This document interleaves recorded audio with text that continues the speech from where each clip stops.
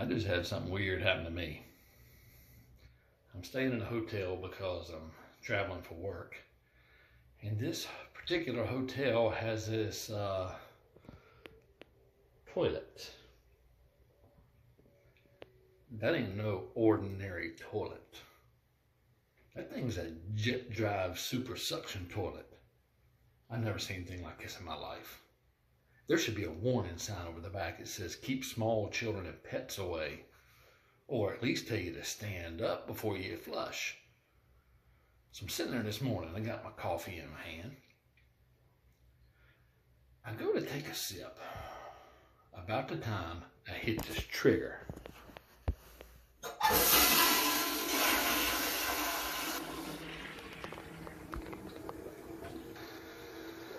Kind of toilet flushes like that? Who needs that much power? You could put a watermelon down that thing. Well, I go to take my sip of coffee. I hit that button.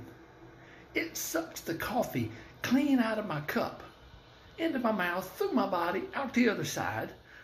Didn't even get to taste it. My coffee's gone. I ain't never in my life seen anything like that. I'm just sharing this. Let you folks know. Test your toilet if you're staying at a hotel, cause don't hit that trigger if you're sitting down unless you're ready and you're holding on.